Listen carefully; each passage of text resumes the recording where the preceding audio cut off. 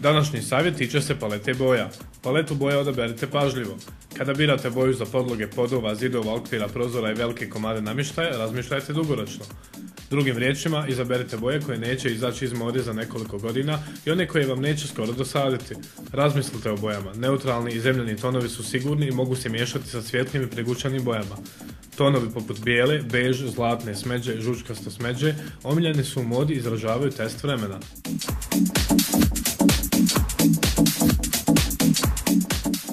Mijenjanje velikih stvari, podova, sofa, kauča, zidova i prozora je poprilično skupa avantura, stoga bi trebali izabrati boje koje će ostati u trendu i za nekoliko godina.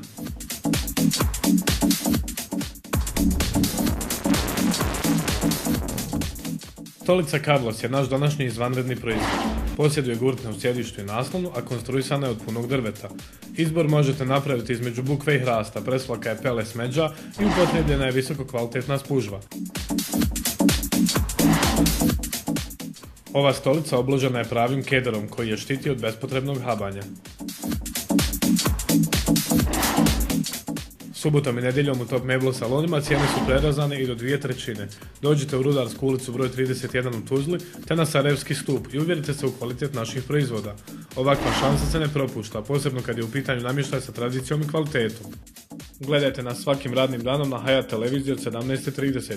Čitajte na portalu sarajevo.com i svakim radnim danom na portalu ikapija.ba. Srijedom pronađite prilog u dnevnom avazu te pročitajte naš članak. Slušajte nas na radiju Stari grad u okviru emisije RSG Tour i posjetite stranicu www.top-meblo.ba.